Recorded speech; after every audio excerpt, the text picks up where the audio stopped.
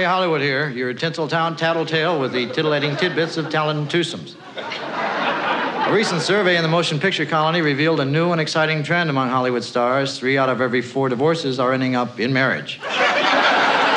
Tonight, we'd like to salute some of those wonderful couples who've stuck together through rough times, through thick and thin, in fair weather and foul.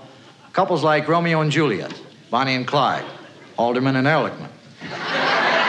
For instance, take Sonny and Cher. Now, who'd ever think a mixed marriage like that would last? He's a hot blooded Italian, and she's a full blooded Sioux Indian.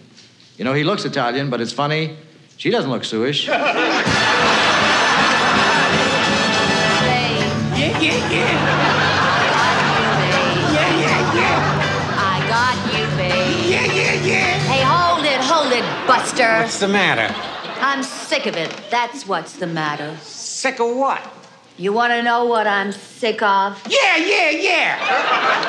I'm sick of that yeah, yeah, yeah.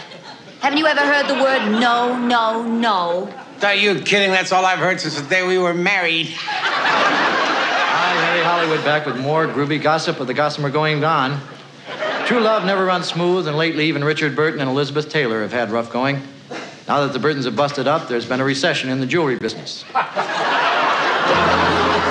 Sometimes I'm happy. Sometimes I'm blue.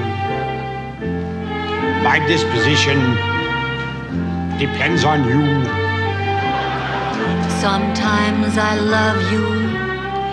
Sometimes I hate you. But when I hate you, oh, it's because I love you.